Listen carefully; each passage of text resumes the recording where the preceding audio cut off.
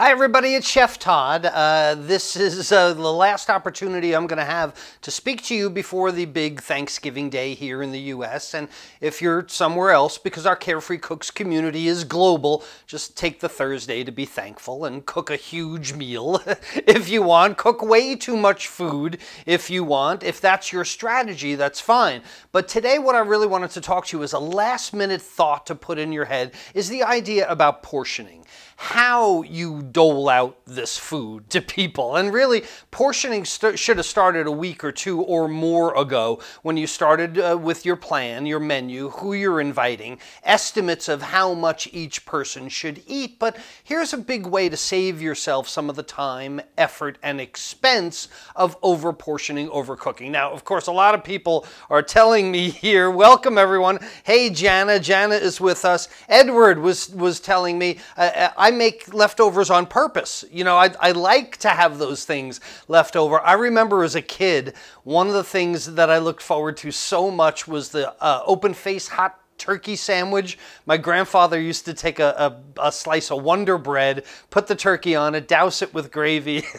it was great. So sometimes yeah, you're planning for that. Hi, Kimberly. Hi, Maria. Hi, Heather are all with us today. So if you are not, put my phone down, if you're not planning for leftovers because you like that, or plan for your leftovers more purposefully, there is a difference between weight, volume, and each, okay? So here's the, the way that you're gonna look at this. There, there's no way to uh, portion turkey by volume. Uh, you know, nobody's gonna have a cup of turkey. So as you're carving the turkey and you're stuffing it into a measuring cup and then portioning it onto somebody's plate, they're going to think you're insane. The turkey obviously is measured and portioned by weight. You know it because you went out and bought a certain poundage of turkey. Or again, if you're anywhere else in the world and you're having a feast for the holiday, any holiday and friends, it's your roast, it's your lamb, generally bought by the pound.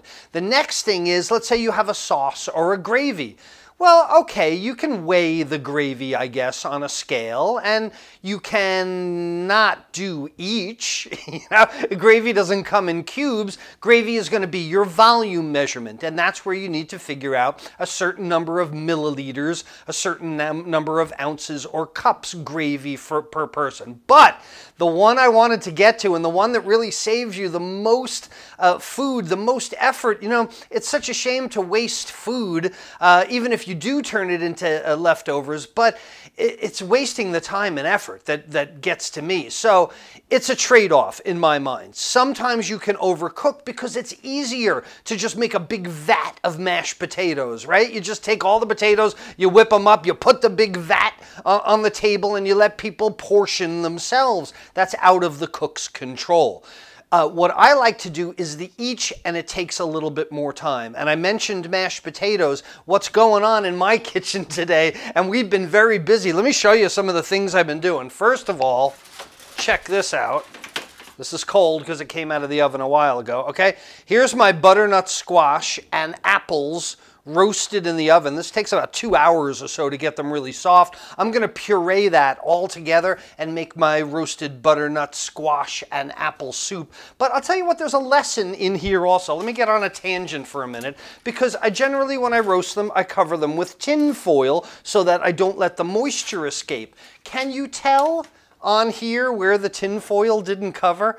Do you see the edges are all dried and burnt? Well, this is all moist and, and not caramely. I mean, I talk about it again and again and again. Direct conductive heat, indirect convective heat, but that's not the story today. The story is about my twice baked stuffed potatoes because it allows me to do the each on the potatoes rather than putting a big vat of potatoes on there. So back here on my mixer, my KitchenAid mixer, I have previously baked potatoes at the same time that I roasted there we go. At the same time that I roasted my butternut squash, and I'm going to put them in the mixer, put a little speed to it so I can break them up.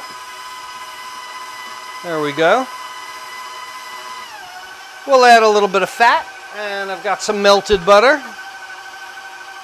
Well, looks like my butter recongealed a little bit while we are sitting here. Well, it's still soft. That'll be good. Let's melt in a little bit of the, the butter. Oh, easy there, Bronco. Oh, slow down.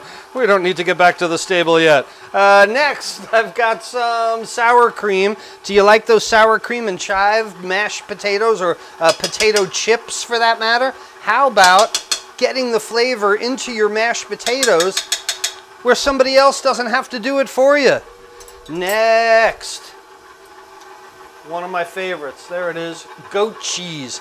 Can you imagine a goat cheese and sour cream stuffed mashed potatoes? Notice my measurements are always very precise. very important to measure precisely. Uh, there's another piece that's in there. Give it a quick whip and then slow it down. So what I'm doing here is as the person cooking the meal, it gives me an opportunity to know that I can make one potato per person. Or they're heavy eaters, I make one and a half potatoes per person. But nonetheless, it gives me a count, right? It gives me an each to know that I'm not gonna run out of food and I'm not gonna wildly over portion as well. So what I've got, as you saw me do in the mixer, uh, is my potato mix. The one of the reasons for this, the thing that I hate is the potato surprise. You know, when, when you're served a potato at the table, you're supposed to carve it open, touch it. Oh, it's really, really hot, thus the hot potato game. Then you're supposed to put the butter in it. Then you're supposed to put the sour cream or whatever else you want to put in it. And it just turns into a tableside mess. This is another great thing about this. You do it for your diners as well. So now that we've got my potato whipped up, we have one last thing to do, which is a whole bunch of fresh chives that I have gotten and chopped. You can never have too much chives, I'm going to say to myself. Uh, paddle back on the mixer, which is always easy to do. And lastly, I've got my combination of salt and pepper, already salted, already peppered, so that I don't have to do both. A quick mix because I don't want to mash up those chives stop it, and let's give it a taste. Get a spoon. Because it's all cooked, right? There's nothing dangerous in here. I haven't put eggs in it or anything.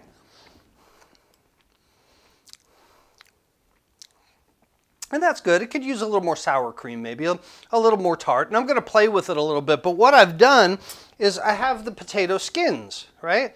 This is where the potato came from. I will scoop out from the mixer, fill the potato skin. This can be frozen even a week ahead of time. A week ahead of time. It makes it so much easier to do. Where's my towel? there it is. Uh, so imagine being able to make the baked potato for the people at your table. Yes, it, it is. You're trading labor for food, but if you love cooking, if you enjoy the process of it, if you enjoy the, the, the, passion and sharing of your talent with people at your holiday table, then you will always trade time in the kitchen for wasted food. I mean, I know I do. I've done the each on so many different occasions. I've done the each, I've made little lasagnas in ramekins. Uh, one year we had a really fancy French party. I made little creme brulees for everyone.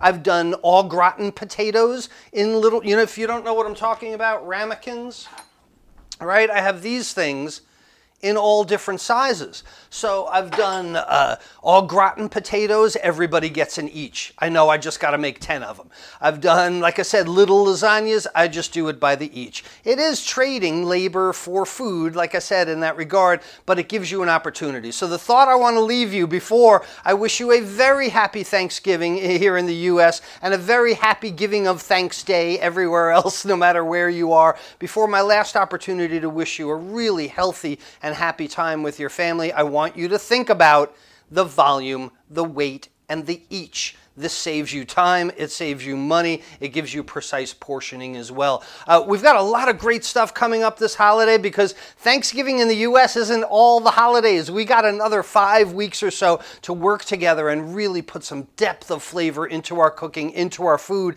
And coming up next Monday is Cyber Monday, the one day of the year, the day I get to make the boldest, craziest, maybe most creative offer of the year to get as many people started with with a web cooking classes membership and to reward the people that already do. So if you want to find out uh, uh, more about it, there we are. Go to uh, webcookingclasses.com slash VIP because I'm told that I'm going to send out an email message to exactly what the offer is, but I'm being told that email could crash because Cyber Monday is getting crazy. So this way, if you go to webcookingclasses.com slash VIP, you will get an alert and uh, the page before it actually goes live. You'll have it in your pocket, is what I'm saying, if you're curious about the crazy offer I'm going to make this year. So thank you so much for spending a few minutes with me. Don't forget, the volume, the weight, the each is the key to portioning no matter what you're doing this holiday season. Happy Thanksgiving. Happy day of giving thanks no matter where you are. And it's Chef Todd Mohr reminding you